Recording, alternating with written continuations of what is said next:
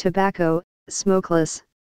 Powdered or cut pieces of leaves of Nicotiana tabacum which are inhaled through the nose, chewed, or stored in cheek pouches. It includes any product of tobacco that is not smoked.